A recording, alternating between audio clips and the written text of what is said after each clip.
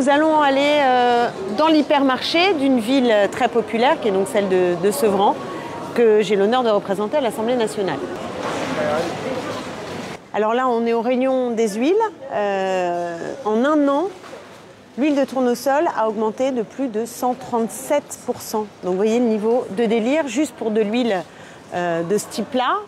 Donc là, par exemple, je prends une, une bouteille un peu grosse, là, au hasard. 6,25 euros juste cette bouteille. 6,25 euros. C'est fou. Non, madame Bonjour.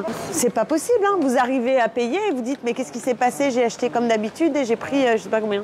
Prenons plutôt de l'huile d'olive et bio, qui est quand même de meilleure qualité pour, euh, pour la santé. Je prends euh, le prix de base de la marque du, du magasin, on n'est pas obligé de faire de la pub, mais juste cette petite chose-là, on est à 8,45 euros.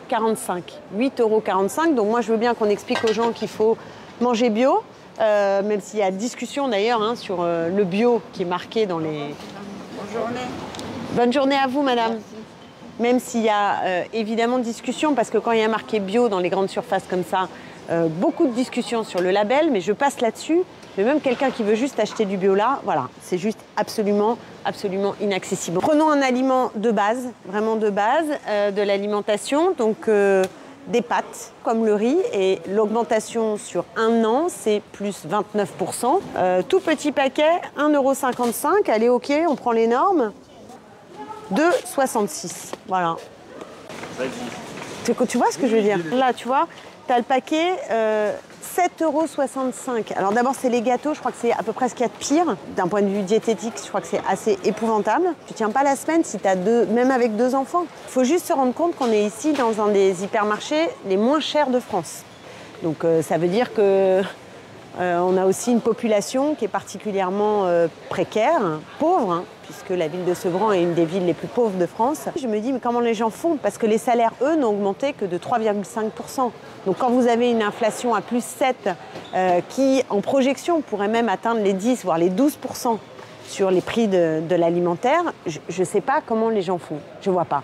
Le fromage est devenu un produit de luxe, un total, total produit de luxe. Tiens, je prends même tout simplement un camembert, voilà, un camembert. Maintenant, là, c'est plus de 5 euros.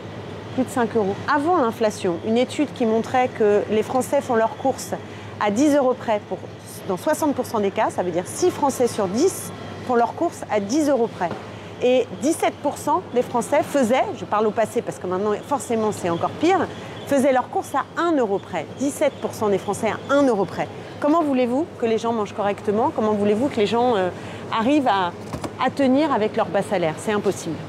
Ah, je trouve ça hyper cher, non euh, ce, pack de clémentines qui n'ont pas l'air euh, complètement fameuses là, et on est quasiment à 5 euros pour ça. Vous avez une famille, moi, euh, chez moi avec. je suis en famille recomposée, 4 enfants, ça fait la soirée, 5 euros juste pour les clémentines. Plastique en veux-tu, en voilà, avec des fruits et légumes, surtout des fruits là je crois. Non, il y a des légumes aussi prédécoupés, parce qu'on est dans une société où les gens n'ont plus le temps, n'ont plus le temps des entreprises qui eux, cherchent à faire des marges et du profit sur tout ça. Donc moi je crois que c'est la folie de notre société, elle est résumée là. Alors contre la vie chère, on a des solutions, le blocage des prix, euh, la possibilité d'augmenter enfin le, le, SMIC, de relever les minima sociaux et d'aller taxer les super profits. Et pour toutes ces raisons et d'autres encore, parce qu'on a aussi le défi climatique qui est devant nous et il faut qu'on arrive à lier les deux, à répondre à cette vie chère et à assurer la transition écologique. Bah pour tout ça, il faut aller marcher le dimanche 16 octobre sur Paris. On appelle à une déferlante, une déferlante parce qu'il faut tenir tête à ce gouvernement et obtenir des avancées là où le gouvernement ne cesse de faire des régressions sociales.